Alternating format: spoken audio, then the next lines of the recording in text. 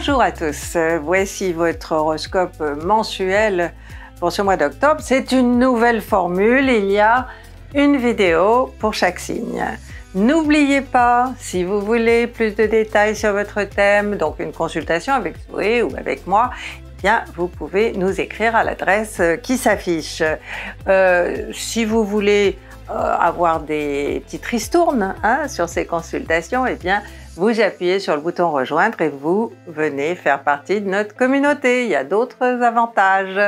Ensuite, qu'est-ce qu'il y a d'autre? Eh bien, les lives, hein, le mardi soir de 20h30 à 22h en, toute complicité, on fait vos thèmes, on parle d'astro, euh, euh, c'est un moment agréable donc autour de l'astrologie avec Zoé et avec moi.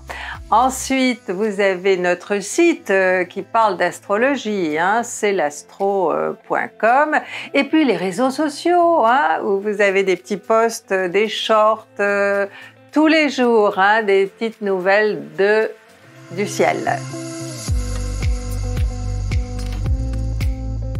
Verseau et ascendant Verseau dans l'horoscope euh, de ce mois d'octobre, quelles sont vos forces, hein, puisque maintenant on, va faire des vidéos sur les forces.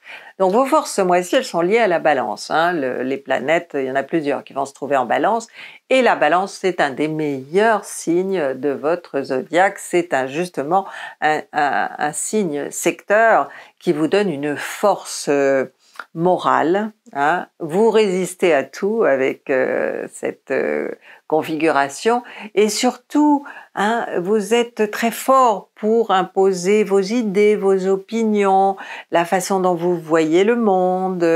Et euh, bon, ce faisant, évidemment, les gens vous prennent en considération. Vous, aurez bon cette force de, de euh, provoquer le, respect chez les autres parce que soit vous aurez fait quelque chose, soit vous aurez dit quelque chose et bon, hein, on, vous regardera euh, avec beaucoup de respect. Deuxième force, celle de Mercure qui va également se trouver en balance à partir du 10. Donc avec ce Mercure qui est le domaine de la pensée, hein, c'est le domaine du mental et donc les forces intellectuelles qui sont les vôtres. Alors là, franchement, euh, vous verrez large, vous verrez loin, vous verrez haut et avec euh, quand même pas mal d'optimisme hein, parce que le secteur 9, c'est un secteur jupitérien il est occupé par plusieurs planètes. Donc vous développerez euh, un optimisme de bonne aloi, comme dirait l'autre, et euh, vous le communiquerez aux autres. Et ce sera là votre force. C'est-à-dire que ce sera, euh, comment dire, vous obligerez d'une certaine manière les autres à être optimistes et à, vous regarder avec bienveillance en se disant bah, que vous avez des bonnes idées, que vous savez vous les exprimer et euh, bah, que vous savez vous y prendre avec eux. Troisième force, celle de l'amour avec Vénus qui va être tout le mois conjointe au Soleil, même quand elle va rentrer en Scorpion à partir du 23. Donc si vous voulez, je pense que ce sera le meilleur mois de votre année parce que la force de l'amour euh, va être aussi au premier plan, hein, puisque le Soleil éclaire euh, Vénus qui est chez elle, donc les deux planètes hein, sont extrêmement fortes. Donc vous, soit vous saurez vous faire aimer de tout le monde, hein, parce que la neuf, ça représente les l'univers, hein, d'une certaine manière. Euh, vous saurez vous faire aimer de tout le monde, soit vous vous ferez aimer de quelqu'un qui vient de l'extérieur euh, de votre milieu ou de votre pays, euh, soit encore si vous êtes déjà en couple, peut-être que vous ferez un voyage, hein, peut-être que vous ferez voyager votre partenaire ou c'est lui ou elle qui vous fera voyager avec amour.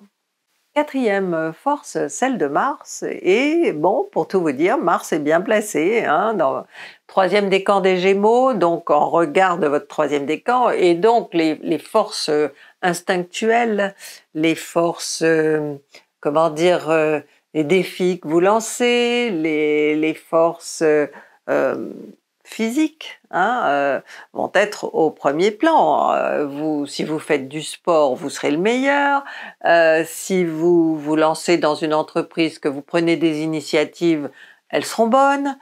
bon, tout ça avec certaines limites. Je vous expliquerai pourquoi tout à l'heure.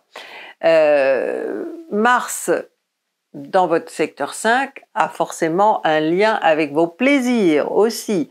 Alors peut-être que euh, la force de votre libido va être sollicitée, peut-être que vous serez très attiré par quelqu'un qui vous fera de l'effet hein, euh, sensuellement euh, et que bon ça vous donnera vraiment une bonne image de vous-même, de vous sentir désiré. Alors justement, euh, mon conseil va concerner Mars, parce que évidemment, Mars, malheureusement, dans le troisième décan des Gémeaux, va être en dissonance avec Neptune. Hein. Donc, euh, alors, c'est pas forcément mauvais pour vous, parce que parfois, euh, vous résistez, vous n'êtes pas... vous vous laissez pas vraiment aller hein, à vos sens, à ce que à vos émotions, etc. Et euh, une dissonance Mars-Neptune, euh, bon, ça enlève toutes les limites, ça enlève hein, toutes les barrières hein, que vous pouvez vous mettre. Donc on peut espérer qu'elle va jouer de manière positive.